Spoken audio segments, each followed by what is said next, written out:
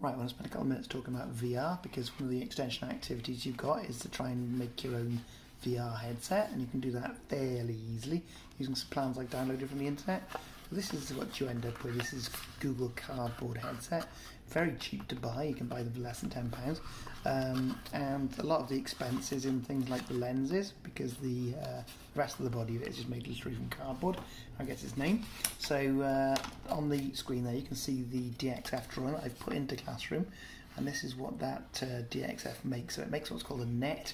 So a net is a folded flat development of a, of a 3D shape, and this folds back to itself. It's got uh, tabs that are actually part of the of the net, so when it folds up, it'll all sort of lock together.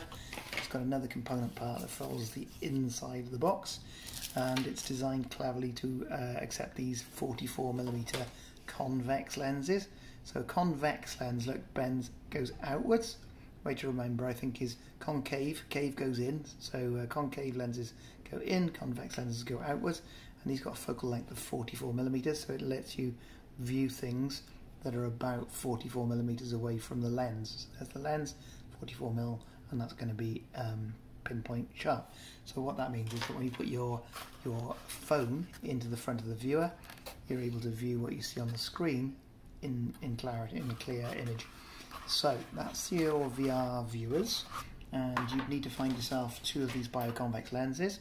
There is a supplier on Amazon that's doing them for £2.60 for two, uh, with free postage. So if we get together and you're interested in buying those, we might have to figure out a way of doing that.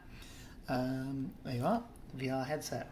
I've um, exploded the DXF file that I imported from the developer site and I've done things like putting uh, dashed lines in for perforations my drawing and I've also done what's called nesting and nesting is where you can get bits and put them together to avoid waste so I have got a bit of waste there but uh, it's kind of acceptable all this now fits into a piece of cardboard which is just so happens the perfect size for one of the new laptop boxes which you've got quite a lot of spare and that creates the shape for you in this really nice uh, thin corrugated cardboard. If you're not sure what corrugated cardboard is, it's like two layers of, of flat cardboard separated like a honeycomb uh, of ridges to give it stiffness.